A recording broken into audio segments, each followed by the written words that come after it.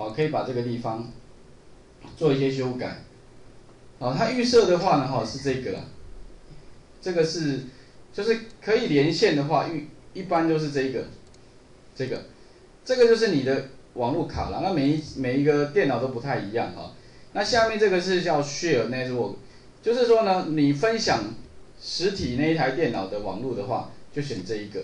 那底下这两个都是可以连线的。那这个是 Logo，你就是你虚拟的跟实体哈可以连线。另外就是说呢，不连线的话就选这一个，好，那是 connect 的。所以说，假如说你不想连线的话，就选这一个哈。那其他音效要不要啊？其他，那我底下有设了一些设定哈，预设我会把它改这个，就是 close 当关闭的时候呢，我就选择什么呢？这个预设我记得好像我我有调了，那如果其他同学有调过的话，可能设定会跑掉。那这个设定就是说。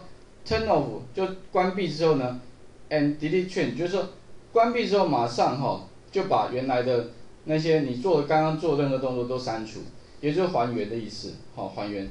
那可能如果说同学做了其他设定的话，啊，比如说他可可能把它调整到其他，就有可能存档起来就产生问题。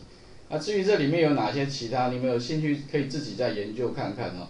因为像我自己的习惯是这样的，我每一个。上课环境哈都会有一台虚拟电脑，那好处就是说彼此不互相干扰，反正 K 的就是一个 K 的很干净的 K 的，好，然后呢 Office 比如说像呃 Excel VBA 就是一个 Excel VB 的环境，好，然后呢可能城市开发就是一个城市开发环境，那这样的话呢比较可以避免掉一些因为软体什么冲突之类造成的一些麻烦哈，那这边顺便补充一下，补充说明一下。